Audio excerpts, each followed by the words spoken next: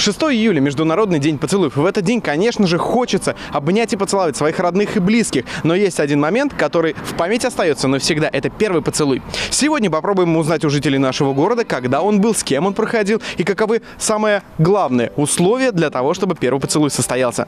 Пойдемте. Скажите мне, пожалуйста, помните ли вы свой первый поцелуй? Да, А где он был? в Самаре с э, моим молодым человеком, который потом стал мужем. А какие должны быть э, созданы идеальные условия для идеального первого поцелуя? Любовь. То есть только по быть. любви должно быть. Да, только по любви. А еще, если вы готовитесь к первому поцелую, знаете, есть такой а, старый-старый совет. Им еще Брежнев пользовался. Тренируйтесь на помидорах. Помните ли вы свой первый поцелуй? Из параллельного класса был мальчишка. А Какой был класс?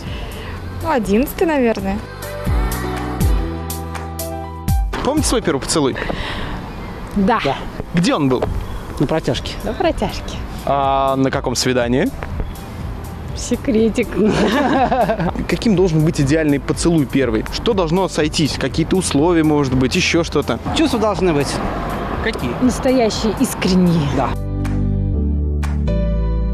А какой совет бы дали молодым, которые вот готовятся к первому поцелую?